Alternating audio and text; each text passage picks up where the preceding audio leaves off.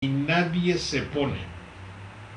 Yo no sé la posibilidad de ubicuidad que tiene el señor gobernador. Todo el pinche mundo está con el gobernador. Ni el director, ni el subdirector, ni el achichincle A, ni el achichincle B, ni la colaboradora C, ni la de... Ya, ya, ya oyeron y ya, ya hablaron. Ni la colaboradora, colaboradoras A, B, C, D, nadie se pone porque en nuestra región, espero que no sea igual en la de usted, no contestar, no estar, no contestar el teléfono significa importancia. Ante una medio, mediocridad tan generalizada, donde la importancia de un funcionario de tercera se mide por la dificultad que hay en hablarle, no tan solo es aquí en Jalapa, también en México lo mandan a uno por un tubo. Si no pertenece a la gran televisión a los grandes medios de comunicación, tenga, no le contesta. Pero en Jalapa es terrible. Entonces, voy a ver si tengo suerte y alguno de los achichimpes de, de, ¿cómo llaman? De Marcelo. A mí me dijo un cuate hace tres años, ya me debe tres años de salarios caídos me dice, comenzamos en tres meses.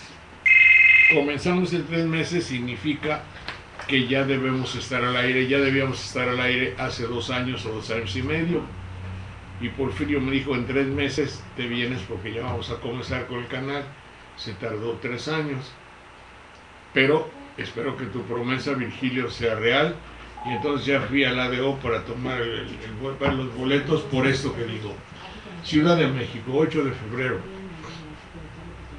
Este tiene luz verde de las autoridades federales para lanzar al aire el canal de televisión Capital 21. La Comisión Federal de Telecomunicaciones COFETEL resolvió avalar el registro de documentación técnica presentada por la Administración Capitalina para operar el canal la COFETEL resolvió favorablemente sobre el registro de la documentación técnica presentada por el GOB del Distrito Federal de la televisión digital terrestre, dice el comunicado fechado este miércoles, día en que el Pleno del organismo resuelve sobre asuntos de canales de televisión digital. Con este proceso, el gobierno del Distrito Federal, en su carácter de permisionario,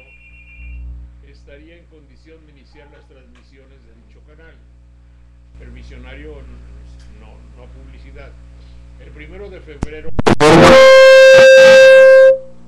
Perdónenme, perdón, perdón, perdón. Perdonen ustedes, hay que arreglar aquí la comunicación. no, hablando de un canal de televisión, no decir, no, pues tú no sabes. Bueno, el primero de febrero, Reforma publicó, porque esto está en el periódico Reforma, que, el eh, que Capital 21 terminó en el Cerro del Chiquihuite la instalación del transmisor y antena de 50 metros de alto con 36 paneles de transmisión que alcanzarán un radio de 45 kilómetros y cubrirán las 16 delegaciones y algunos municipios mexiquenses para iniciar transmisiones, por lo que solo esperaba el aval administrativo de la COFETEL.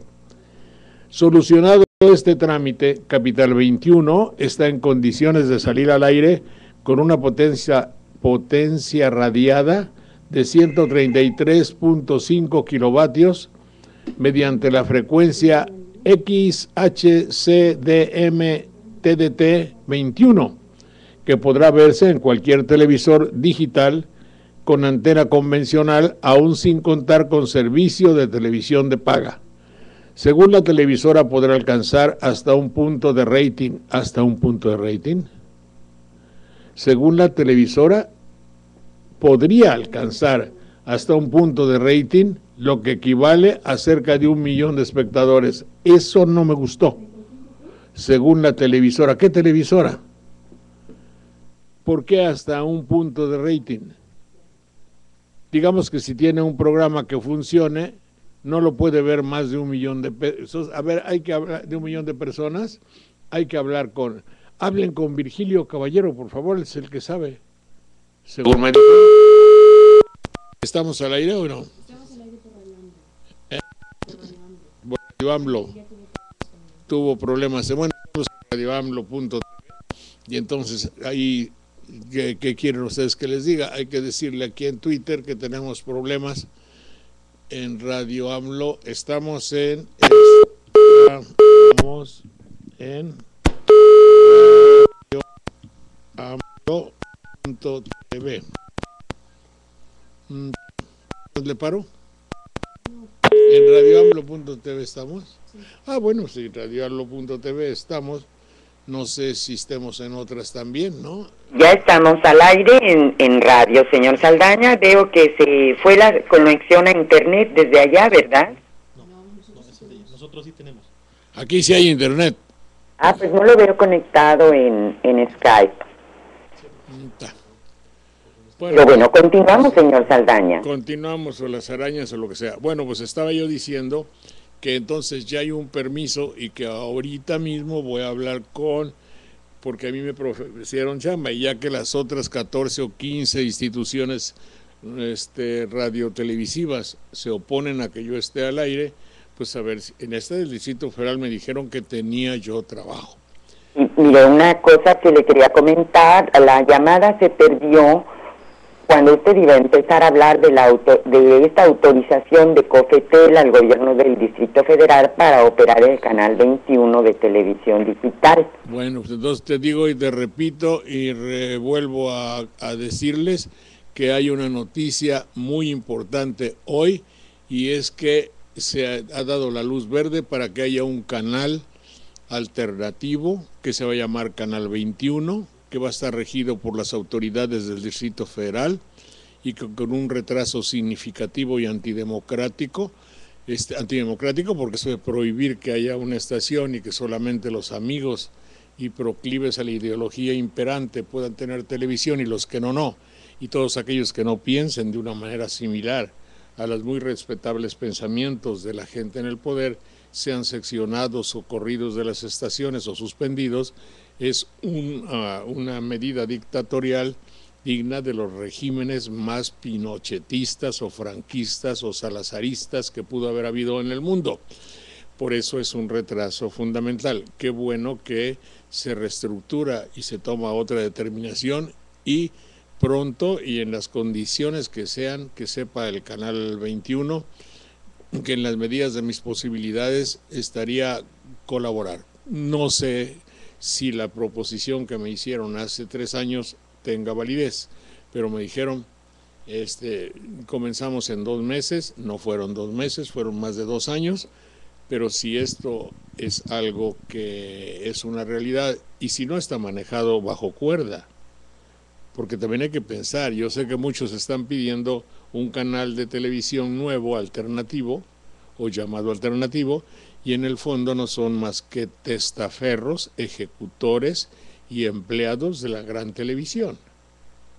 Así es, bueno, pero ya es un avance el que COFETEL haya aprobado esta documentación técnica que presentó el gobierno del Distrito Federal, porque... Ojalá y no se la vayan a hacer de tos. Pues sí, ya le habían autorizado operar el canal 21 de televisión digital el 22 de febrero de 2010, pero les pidieron la documentación técnica y bueno, ya la aprobaron en esto, en o sea que...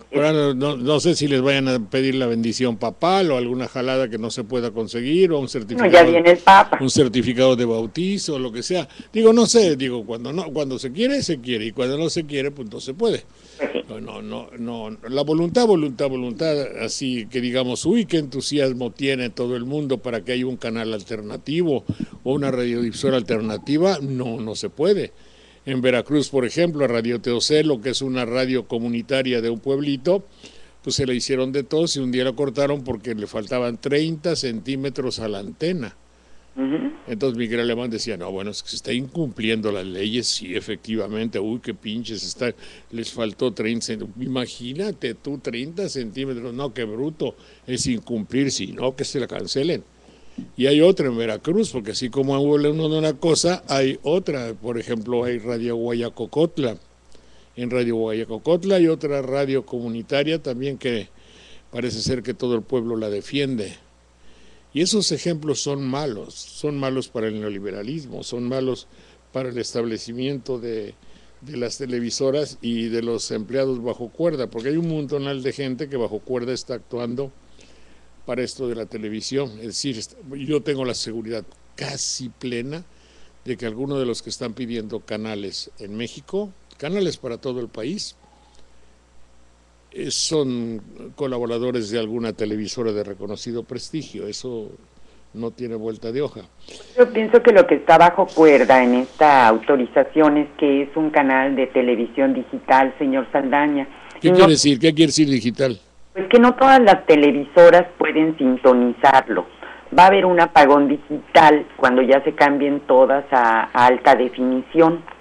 Y eso es puede estar ahí el, el problema, ¿no? Aunque pues está muy... No te entendía, Ana Lilia. ¿Qué quiere decir digital? Pues es una televisión en alta definición que requiere un receptor diferente, no como las televisiones actuales, o, o, que sean televisiones nuevas de alta definición.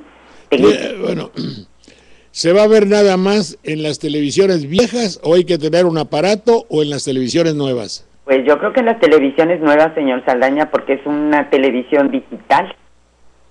¿Y la televisión que hay ahorita qué cosa es? Pues no sé la verdad, pero yo lo... No, pues digo, no sabemos. Bueno, es que lo que estoy comentando es que ese apagón digital, eh, bueno, se adelantó y ya en unos años vamos a tener que cambiar eso, pero lo, mira, lo concreto es que Marcelo abra un canal. Lo concreto es que este canal tenga un criterio alternativo. Lo concreto es que se, habla, se abra para voces que no se escuchan y que no tienen un compromiso ideológico con lo establecido en la radio y en la televisión comerciales. Eso es lo concreto. Después viene otra parte que es la técnica, que es muy compleja y expresamente rara. Está como el, la ley electoral, quien la entienda será muy, será muy buen desenredador. No se le entiende nada más que lo que le hicieron. Ahora, esto de lo digital, lo normal, lo estándar, lo HD, el, gran apagón, para nosotros, pueblo, no resulta comprensible. Interviene ahí la posibilidad que yo tengo de contratarme con esquí o con madrecable o telecable o lo que sea, que finalmente es la posibilidad que yo tengo de comprar los programas que me gustan por la posibilidad de comprar, yo tengo que pagar. Eso solo sucede en países de un surrealismo patológico y dictatorial en lo que respecta a los servicios, como es México. Ahora, lo ideal, lo ideal es que las necesidades del Departamento del Distrito Federal se vean reflejadas en un canal a su servicio. Lo ideal sería que un canal de esta naturaleza sirviese para emprender aquello que no se ha hecho, que es la educación de todos los que en alguna forma somos o tenemos algo de capitalinos. El capitalino tendría que hacer varias cosas y puede servir como pues no idea ni mucho menos, pero como una urgencia natural, es tener un canal que nos aglutine ideológicamente, que nos informe de una manera conveniente, conveniente y de acuerdo a la verdad, no conveniente y de acuerdo al patrocinador, cuál es la televisión actual. La libertad de expresión de la televisión en este momento está condicionada a las exigencias comerciales del patrocinador. Nuestra libertad de expresión es una libertad de expresión patrocinada, o sea, el señor Chedraui, digo, por decir una cosa, por decir un, nombre y no decir 20 mil cosas, o sea, al que está en los pinos, al señor Felipe Calderón. Es decir, la televisión se comporta, y obviamente la radio, se comportan de acuerdo a las demandas, las normas y todo aquello que beneficia a quien esté en el poder. Hay áreas evidentes de auténtica libertad de expresión y hay voces muy pocas a las que se le tolera y tienen la suerte de ser críticos del sistema y al mismo tiempo estar en la televisión comercial. El que habla no tiene esa suerte.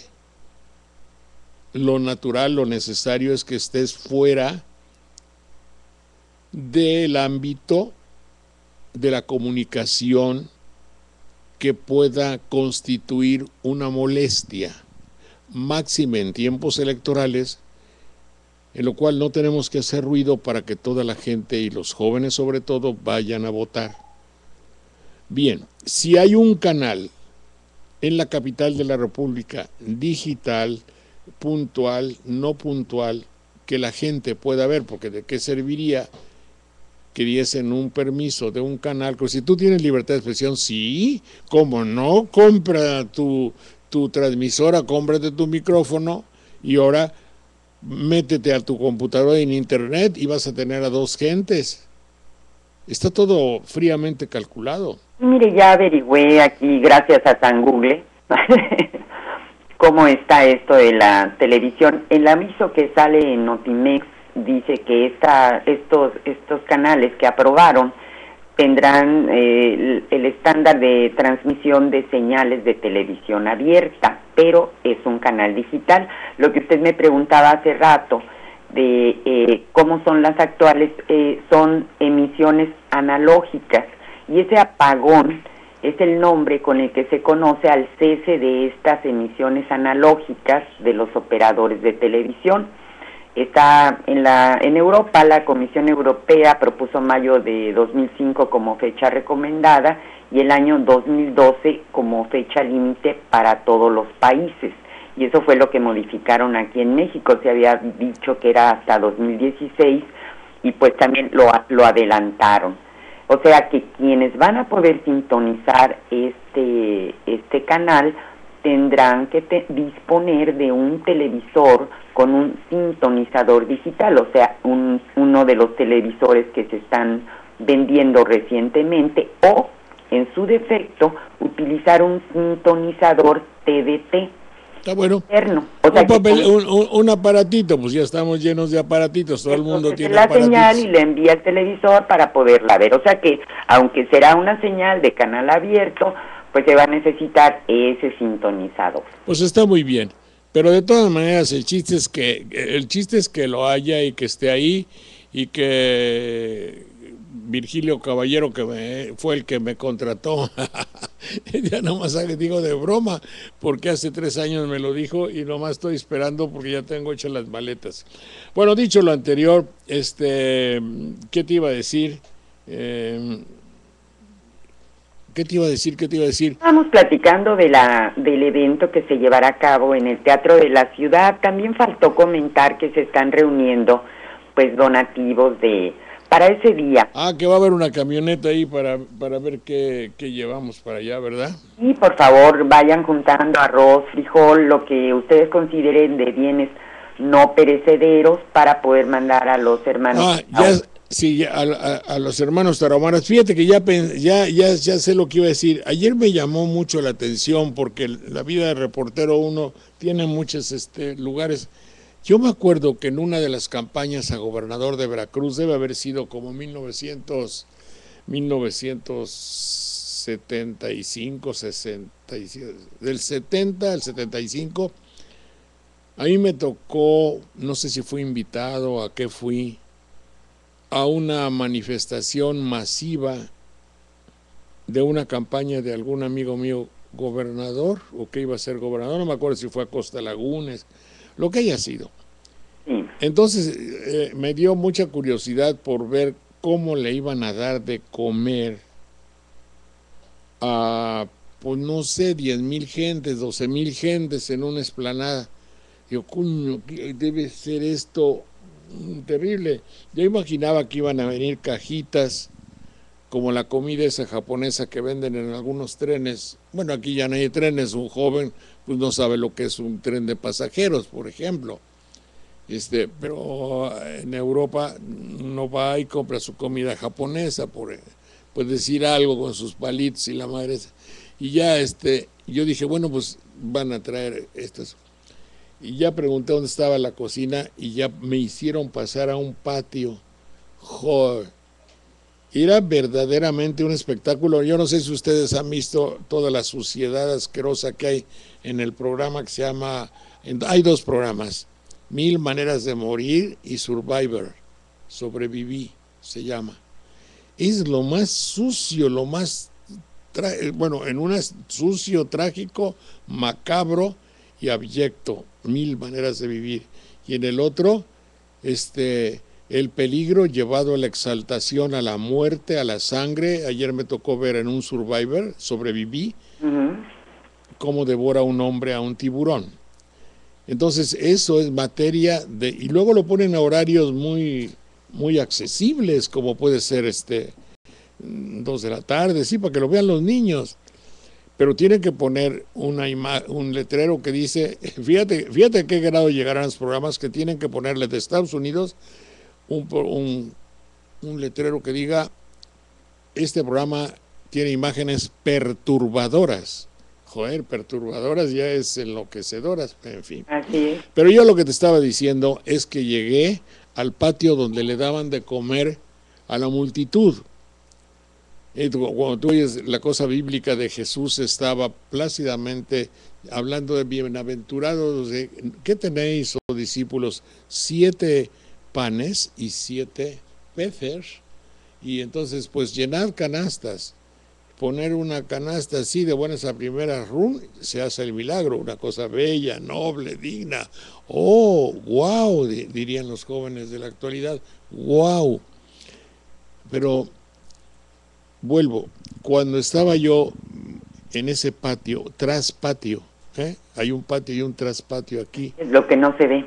Por los inodoros y todo, ahí unas cinco lumbradas con, con, se llaman bidones, no, barriles de metal abiertos, de esos que había de petróleo, ahora me parece que son de plástico, pero los barriles de petróleo, tengo la seguridad de que no estaban bien limpios.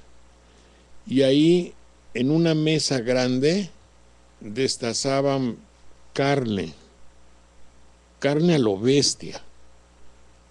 Eh, supongo que becerros o borregos o lo que sea, eh, y luego las pieles y todo eso, generaban una cantidad considerable de moscas.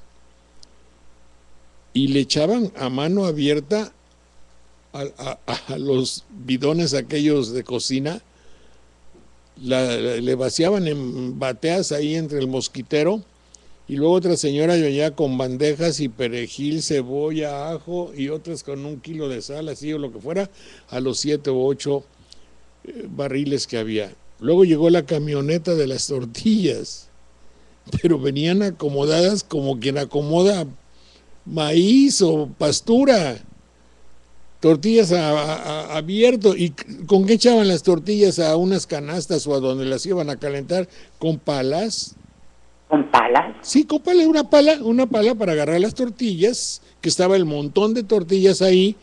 Entonces yo nomás mirando eso, y decía yo, pero ¿cómo es posible? Era para, para Kafka, para Luis Buñuel, para una película surrealista.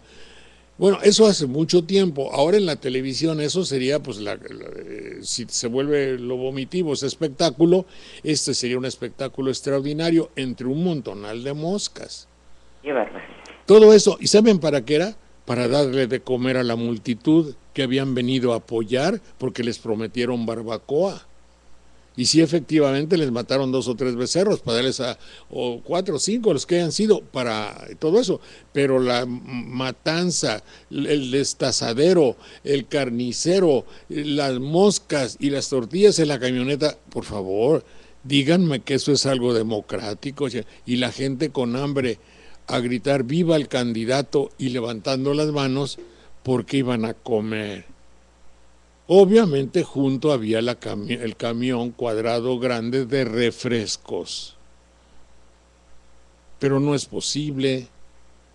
Por eso se enfermaron 700. Imagínese usted que de un supermercado compran huevos que ya están fenecidos Y la falta de higiene con que lo manipulan, la falta de respeto a la gente. No, no, bueno, respeto ya olvídate que estuviera comible, pero de todas maneras, y si, si eh, tampoco, es que esa gente no es una prioridad. No, pues, la, la, prioridad, para estos espectáculos publicitarios es la filmación de la televisión. Y lo que, di, lo que diga el candidato, ahora por cierto, quiero señalar, decir amablemente, no protestar, no es propaganda, no es mala leche. Estaba yo oyendo hoy en la mañana a las 5.40 o 6.40. Yo creo que fue 6.40. 6.40 debe haber sido. Al señor licenciado Rocha.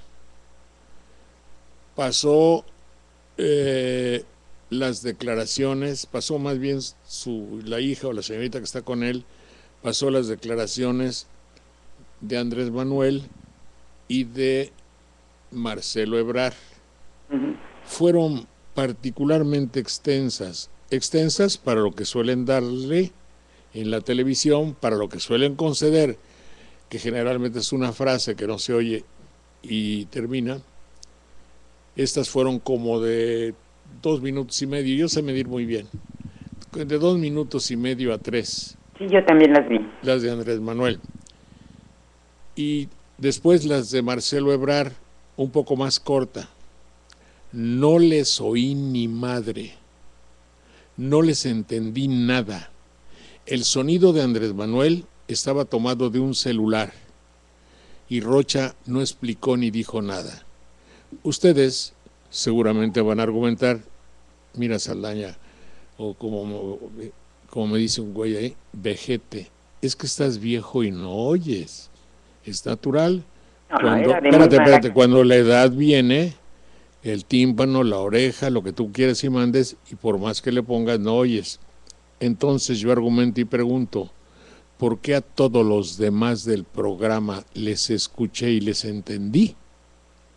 Respóndanme y salió pues también las declaraciones de, de Enrique Peña Nieto, de Josefina, y se oían perfectamente. Se oían perfectamente, como tú lo subrayas. Tengo la seguridad, Ana Lilia, que si yo te pregunto qué dijo Andrés Manuel, no me lo podrás decir. No era audible, no, no se, no se quedaba. No, no, no, se, claro. no se queda en la mente del que está oyendo lo que dijo Andrés Manuel. Así no se puede. Lo que yo recuerdo que habló del ejército que debería de regresar a los cuarteles y debía hacerse en Por eso, por eso, eh, olvídate, eh, muy bien el mensaje. Las ganas de No hablamos del mensaje, hablamos de la putrefacción asquerosa de querer que nosotros sepamos que es democracia cuando es una serie de estrategias y maquinaciones para que gane lo, él, la, los o el sistema previsto. Pero entonces lo que a mí me, me, lo que a mí me enoja es que... Canija puede ser un poquito más... me encanija, gracias Ana, Ana Lilia, me encanija que traten de engañarnos. No puede ser. Si nos dicen que hay democracia, hagámosla. Si me dicen que gane el mejor, que gane el mejor pero si me dicen que va, si me dicen éntrale y hay trinquete, todavía el señor licenciado don Roberto Krill, si que haya pista pareja, ¿cómo, hijo? ¿Cómo va a haber pista pareja si, si, si, si, si es un estudio de televisión? No puede ser. No puede ser y lamentablemente pues uno lo ve, yo me siento en la necesidad de decirlo, pero francamente no, no estoy conforme y, y también cómo se le puede pasar a Rocha, es decir, no, oye, no se entiende qué dijo, vamos a hacer traducible. Eh, yo sé que presentan muchas cosas y que son prácticamente los dos punteros y señeros dentro de la comunicación, en los que se les permite que tengan un punto disidente sin que les quiten el programa. Hay que decirlo.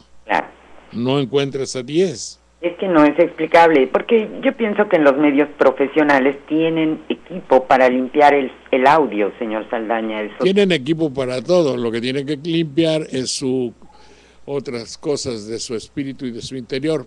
Cuéntame, ¿qué hay por ahí? Bueno, pues también hemos estado pues muy al pendiente de... Eh, yo escuché también que Andrés Manuel López Obrador recibió el apoyo de empresarios de Coahuila que le ofrecieron 300 mil votos. Parece ser que López Obrador está cambiando su esquema de comunicación, de relación, de manera muy exitosa con ese sector de la sociedad que pues le, le atacó tan fuertemente. Bueno, dice aquí Saldaña, están sobreponiendo una estación en inglés. Dice, es una obstrucción a Huix, lo dice en el, en el Twitter. Responde a Calderón a maestra, oportunidades es para los pobres. Chaimón. Ah, sí, yo dije, dije, bueno, ya que le respondió a la maestra, usted no tiene derecho a recibir una pensión. La maestra que quería hacer triquete, que ganaba 10 mil pesos, que tampoco es como para echar campanas a vuelo pero este no es al vuelo, jóvenes, es a vuelo, sin, sin la L. En el espíritu del idioma es echar campanas a vuelo. Eh, no al, como dicen los locutores. Abuelo. Sí, a vuelo. Ah, sí, eh, como tocan las campanas, tocaron a rebato, busca rebato. Que tocaron muy fuerte porque había un problema en el pueblo, tocaron a rebato.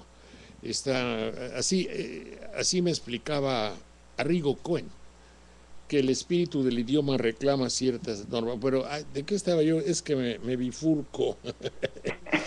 bueno, luego regresamos a los a la taquería Peña Nieto como se ha estado manejando en Twitter. ¿Qué? la taquería Peña Nieto. ¿Qué? Así le están llamando esta. Ah, aquí dice que Calderón le estaba diciendo a la maestra, Calderón le decía a la maestra, tú no tienes derecho a lo de oportunidades y tal pero la maestra le hubiera dicho, bueno, también examine usted los aguinaldos de la clase política, porque si defensores de derechos humanos ganan haciendo honor a su puesto, no pueden tener un aguinaldo que rebase, digamos, un puesto de esa naturaleza, unos 50 mil pesos al mes, por la personalidad, por su criterio, por el peligro, por todo, y la gente de su oficina y, un aguinaldo de 25 mil estaría eh, excepcionalmente decente. Pero la maestra le hubiera dicho eso, porque no revisa tan bien el aguinaldo de sus... Ahora... Arrebato, señor Saldaña, ya lo encontré, es un llamamiento o rebato es un llamamiento o convocatoria que se hace a los vecinos de un pueblo a toque de campana para avisarles de un peligro o una catástrofe o viol, decían en Francia. No, cuando gritan ahí chistosamente en los pueblos pequeños, también sonaban las campanas a rebato y los franceses decían, o viol, o viol, quiere decir, la están violando, a la violación, a la violación. Ya estaba sucediendo un caso de violación y llamaban a todo el pueblo para que fuera a evitar ese caso de violación. Y los franceses lo dicen con mucha, mm, con mucha risa y con mucha picardía. Bueno, adelante. Ah, espérate, Saldaña, este es el enlace donde responde Calderón a la maestra. Sí, yo, yo vi la respuesta de Calderón muy indignado, pero también chacoteó tantito ahí, chacoteó al último. Dice, y atrás de la raya que estoy trabajando. Y también otra persona. ¿Lo dijo o no lo dijo? ¿Lo oíste tú? No. Ah, sí, sí, sí, sí. Sí dijo, atrás de la raya que estoy trabajando, lo cual indica, indica un poco, el señor licenciado, a ver si aquí lo, lo vemos en la, esta, porque yo me acuerdo que dijo, hasta dije, no, está confundiendo.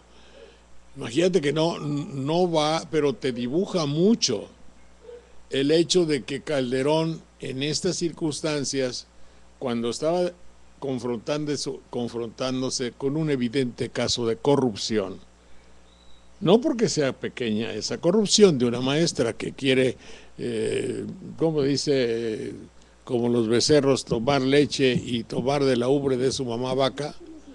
Entonces, hay dos cosas, ¿eh? eh, eh entonces, no se puede, pero es finalmente, es, déjame ver, déjame ver aquí cómo le quito, es mm, abusar, es abusar de alguna forma. Pero si Calderón dijo atrás de la raya que estoy trabajando, me parece que es algo fuera de lugar. Bueno, así decían los merolicos, ¿no? Yo cuando era chiquita. Por eso, por eso, así ya sabemos que sí lo decían, pero no podía Calderón decir así. Bueno, se siente como merólico porque dice atrás de la raya, ¿no? Sí, ahora, eh, el asunto está también en que tenía un sombrero como el de Televisa, como un señor que usa la televisión para el, de, ¿cómo se llama? El de Iniciativa México, lo cual habría que tener mucho cuidado la gente de su de su séquito, ¿verdad? O como se llama. Ahí está, a ver si se oye. Sí, porque partimos de la buena fe de la gente. Partimos de la buena fe de la gente, le preguntamos cuánto gana y si gana menos del ingreso, que son más o menos 4 o 5 salarios mínimos, entonces la incluimos. Usted para ser incluida seguramente no dijo el ingreso verdadero que tiene. ¿eh? Así que yo con mucho gusto reviso su caso porque el programa de oportunidades debe ser para la gente pobre. Y usted no está entre la gente más pobre. Gracias, gracias. Pero no por eso que dijo la presidenta nos vamos a callar de pedir lo que queremos. Esa es su técnica, ¿no, presidente? Maestra, yo le suplico que me deje apoyar a la gente que sí lo necesita. Usted está libre de hacer toda la grilla que quiera, pero atrás de la raya que estoy trabajando, por favor. Sí lo digo. Bueno, este, dos cosas. Le dijo a la maestra que tenía, bueno, es maestra. Y, ahora, espérate, espérate, que aquí viene a cuento, viene ad hoc, como debe decirse correctamente mi verso. Está reprochándole a la maestra que tiene un acto de corrupción de mamar y tomar leche. Es decir, quiere chupar por los dos lados. La política en, en, en esencia que estaba frente a él no es más que un pálido reflejo de, que es el, de lo que es el gran político, que no bien termina un puesto cuando ya, ya anda arañando el próximo puesto que sigue, donde si puede tener dos y cobrar por dos o tres lugares, lo hace, sin pudor. ¿Eh? Así es, sin ningún... Sí, pero eso, eso hay que decirle al señor licenciado que está trabajando atrás de la raya.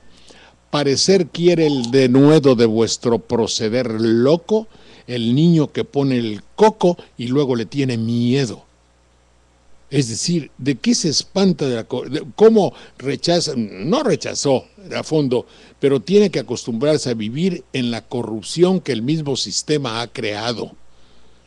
Si se es lógico, no puede espantarse de una creación del sistema y la corrupción hasta el momento actual es el fruto más esplendoroso y grande de la democracia mexicana. La corrupción es el fruto más grande de la democracia mexicana. He dicho, y son las 11 de la mañana, ¿cómo la Voy a luchar a ver si alguien en Jalapa me quiere recibir, porque no hay ninguno que quiera contestar el teléfono. Hay problemas que hay que solucionar y todos están en junta, todos están ocupados. ¿Por qué, señor licenciado? ¿Por qué, señorita licenciada? ¿Por qué no contestan el, el teléfono? Son funcionarios públicos sabemos de la alta investidura, pero cualquier mequetrefe de tercera no se necesita tener un gran puesto para negarse, qué barbaridad. Por eso ya estoy este, ya muy, este, ¿cómo diría yo?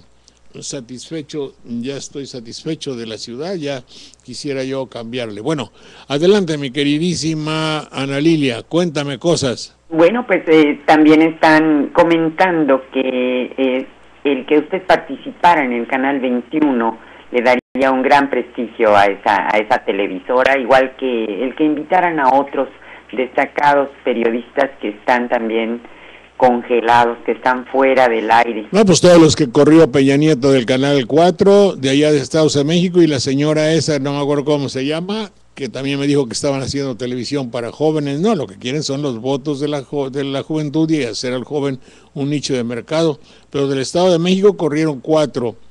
Me dice también, no sé, a, ver si encuentro el señor licenciado Lamón. Ya Tere Vale ya no está.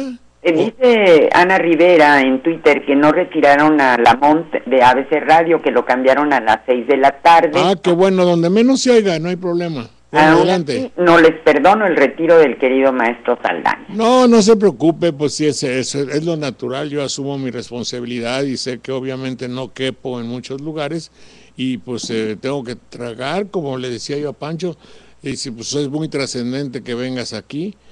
Y digo, bueno, pues a ver, demuéstralo, vamos a comenzar sin cobrar para experimentar a ver si hay auditorio. Pues no quieren, porque digo, ¿por qué no tiene usted?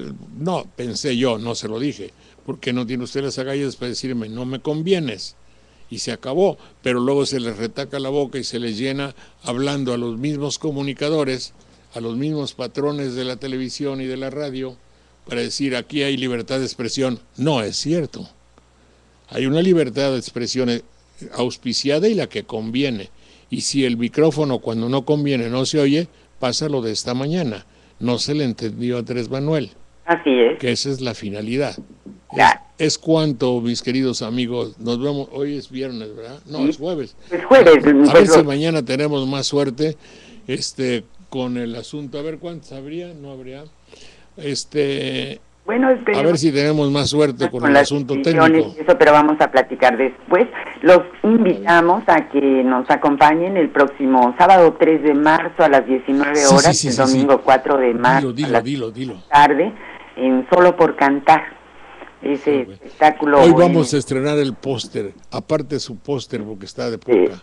en el Teatro de la Ciudad. Y agradecemos al auditorio de Radio La Nueva República.org, de notipoemas.com, de Radio AMLO TV, de alcalorpolitico.com, de poderciudadano.mx, de Open Magazine, de Jóvenes con Orona, de La Patria es primero blogspot.com, de la Gaceta.org, de Red Puente Sur, de eh, en Uruguay, en Montevideo, Uruguay, 105.3 FM, en Tegucigalpa, Honduras, 1015 AM, en Táchira, Venezuela, 92.5 FM, FM y también en Radio Daniel Biglietti en corresponsalesdelpueblo.org y una nueva transmisora que empezó el día de hoy en la revoltosa de fblogspot.com. ¿Dónde pues, está eso de la revoltosa? La revoltosa de fblogspot.com. Ah, ¿es aquí en México? Es en el DF. Ah, qué ato. Bueno, saludos a la revoltosa. Siguen radios, les agradecemos y nos, nos, nos escuchamos mañana. Hasta mañana. Hasta mañana. Música. se tardó. No, pues no. Por internet para mantener en su espacio a tan importante comunicador. Una cosa. Estoy hasta la madre de tantas demagogias, de tantas entrevistas y tanta inseguridad.